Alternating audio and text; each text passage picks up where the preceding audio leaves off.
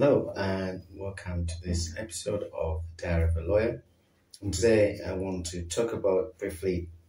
the legality of the tragic loss of life of a young man, a 30 year old man, Jordan Neely, who was famously known for his uh, brilliant, entertaining um, version, impersonation of Michael Jackson dance. Sadly, reports, I think uh, around a day or so ago, reports of uh, Jordan Neely, rest in peace, losing his life in a New York subway, um, emerged after being recorded by uh, a journalist on the train. A video which is so tragic to watch. Um, I haven't even, you know, gone to the actual footage because it's so tragic. And just to give you brief context, is that um, it is reported that uh, uh, Jordan Neely, 30 year old um, young black man, came onto the train and he said he was hung, hungry, was frustrated, he had no food, and he was ready to go to jail for a long sentence or ready to lose his life and he threw his jacket on the floor. But there's no reports whatsoever that he was either a threat to himself or others, and nor did he interact with any other passengers or appear threatening to them. And then it's reported a 24 year old white male who has not, whose name has not been reported, but it's reported that, according to CNN and other media agencies, He's from Queens and he's an ex-Marine and his last known posting was in uh, Fort Lejeune, I think in one of the Carolinas in the United States, who put him in a, a neck chokehold until, as the New York governor said, life, the life moments of his life were snuffed out of him. Um, the authorities, detectives interviewed uh, the, the, white male who can only say killed Jordan Neely, um, but then released him. The mayor, Eric Adams,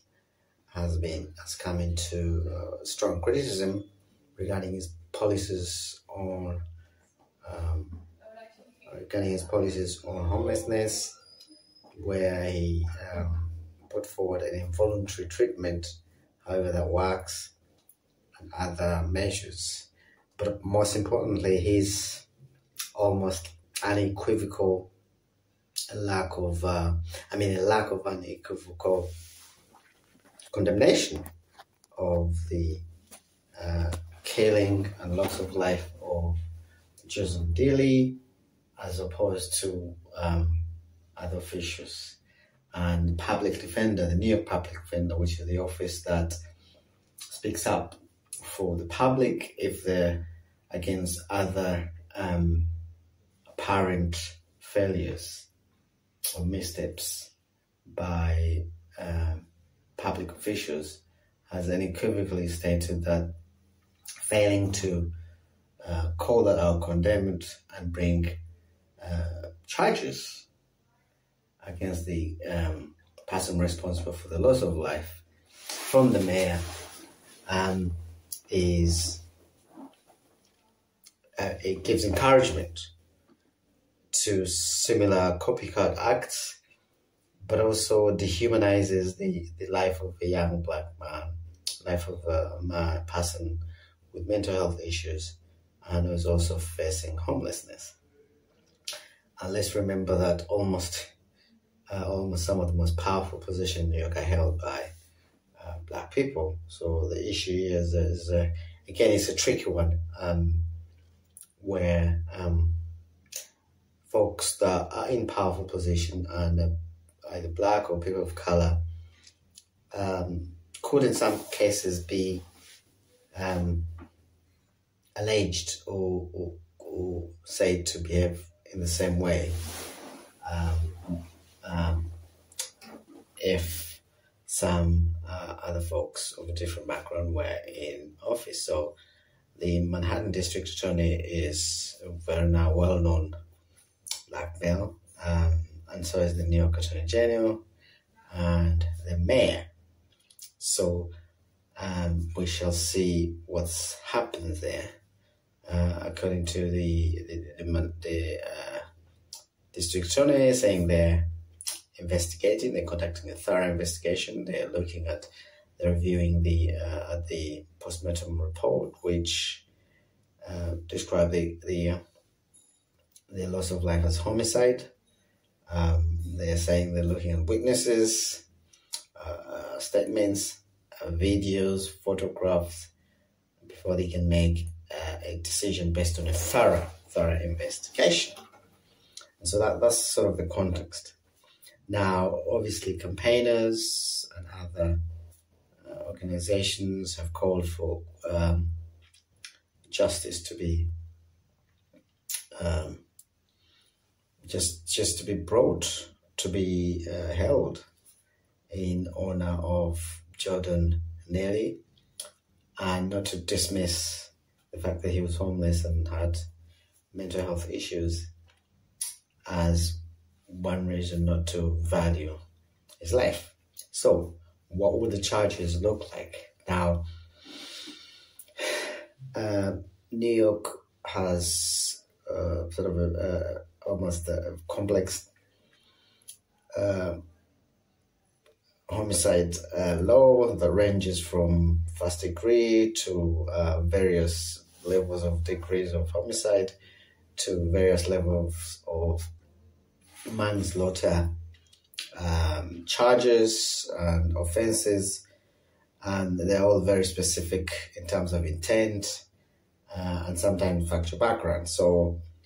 uh, you know, we're not going to go into through all of them, but I think the key point here is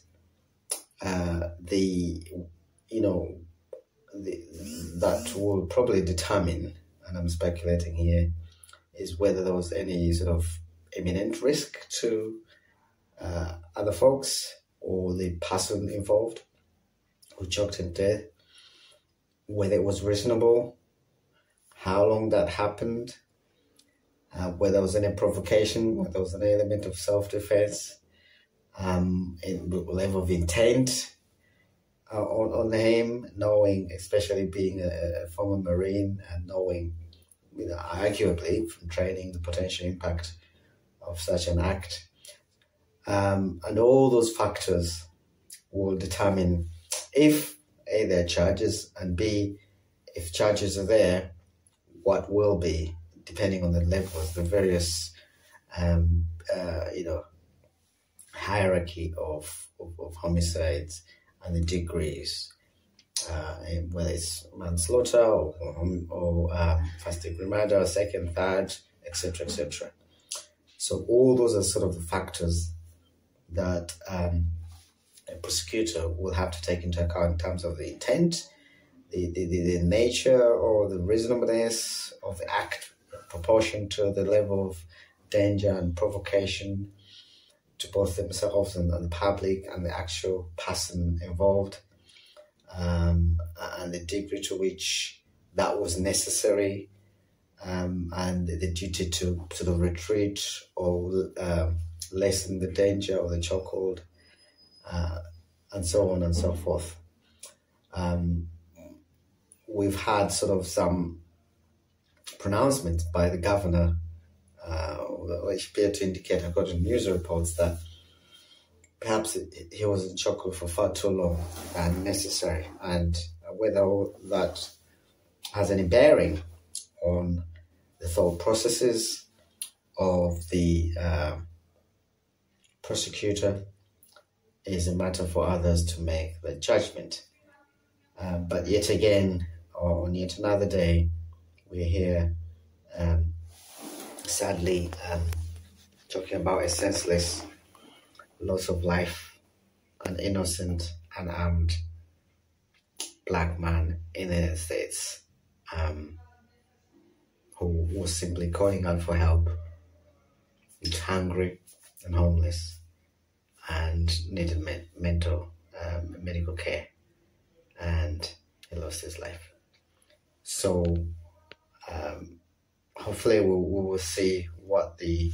Manhattan District Attorney comes up with. There's already growing public pressure from advocates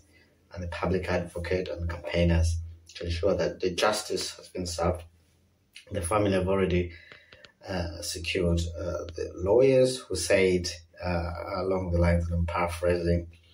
that people on the sub shouting in the subway should not end up dead. I think that's a fitting, um, that's a fitting conclusion on the issue. And there we shall leave it on a rather sad note of uh, on the diary of a lawyer, and we shall wait to see how the Manhattan District Attorney um, reacts to what is increasingly global, national, and public pressure over the loss of life of Jordan Neely. Rest in peace, the famous Michael Jackson entertainer uh, who made people so happy, many people so happy. Uh, thank you and have a good weekend. We shall speak again.